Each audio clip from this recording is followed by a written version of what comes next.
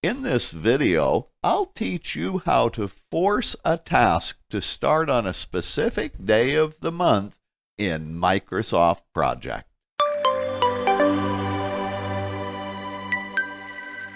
In one of the Microsoft Project user forums recently, there was a user who asked how to force Microsoft Project to start a particular task on the last Thursday of any month. The solution to that problem involves creating a calendar. But I can tell you, creating that calendar is not intuitive at all. In this video, I'll teach you how to do it. So let's get started. In this sample project, we have a very interesting scheduling challenge. In this project, first of all, notice that we have three build tasks named Build 1, Build 2, and Build 3. It is a company requirement that after every build task, there is a two-hour review meeting to review the results of the build. So you can see there's the build 1 review meeting, the review meeting for build 2, and the review meeting for build 3. Each of those meetings is two hours. The scheduling challenge, however, is that these build review meetings can only be held on the second Tuesday of the next available month. So what that means is for the first build review meeting, it needs to be scheduled the second Tuesday of April. And for the build 2 review meeting, it needs to be scheduled for the second Tuesday of May. And for the build 3 review meeting, it will need to be scheduled for the second Tuesday of June. In order to meet this scheduling requirement, I'll first need to create a custom calendar that schedules work only on the second Tuesday of each month. Then I'll need to apply this custom calendar as a task calendar to each of the build review meetings.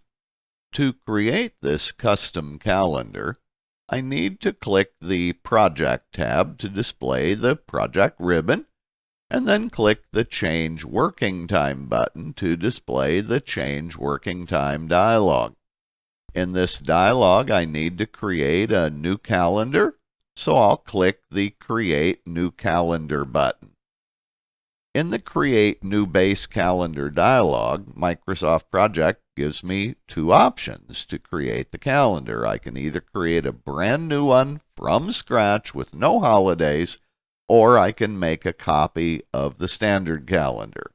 Well, what I want to do is create a brand new base calendar. And I'll give it the name Second Tuesday of each month to be descriptive. When I click the OK button, Microsoft Project creates this new calendar. Notice that initially, every Sunday and every Saturday are marked as non-working time, and every Monday through Friday is currently marked as working time. We need to change that. Here's how. I need to click the Work Weeks tab at the bottom and then make sure that the default item is selected in the Work Weeks data grid. Then I click the Details button. In this dialog, here is where I can specify Tuesdays as the only working day.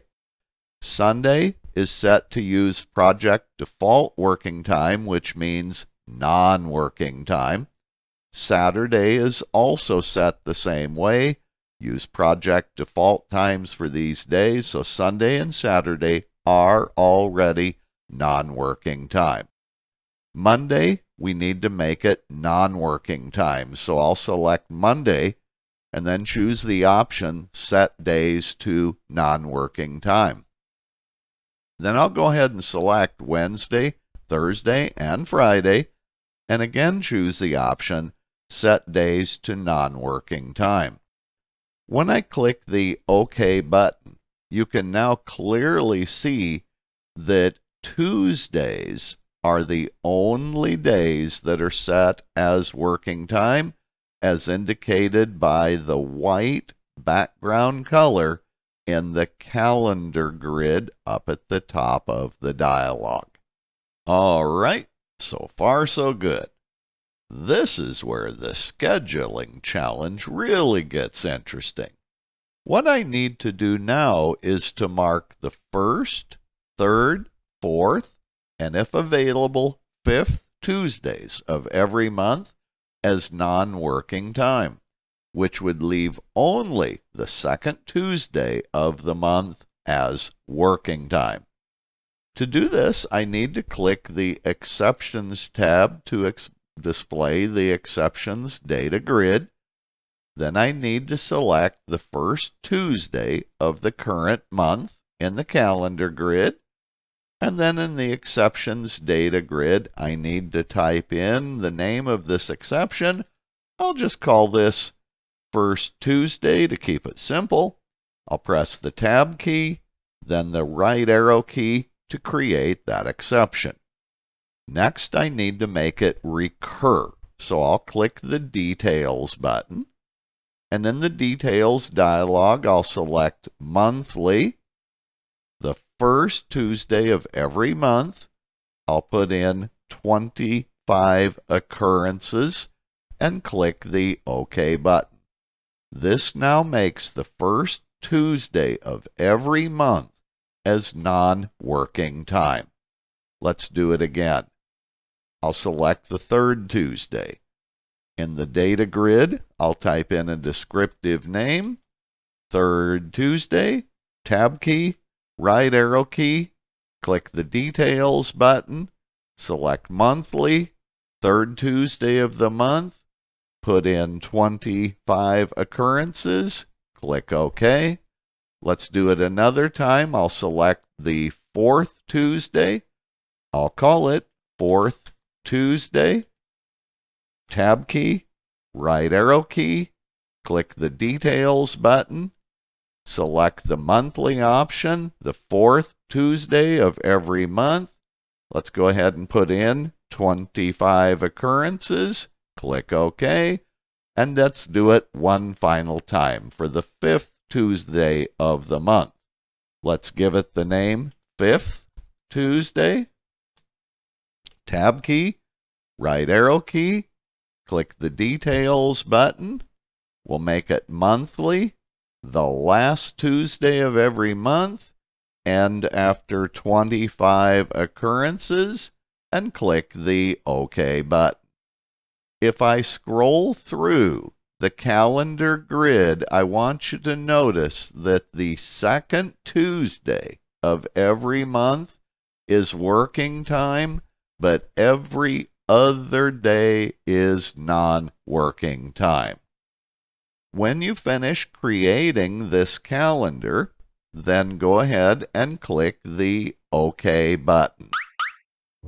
After creating the custom calendar, the final step is to apply this custom calendar as a task calendar for each of the build review meetings. Here's how I'll need to do that. I'll select the first review meeting. I'll press and hold the control key. I'll select the second one and the third one. Then I'll release the control key.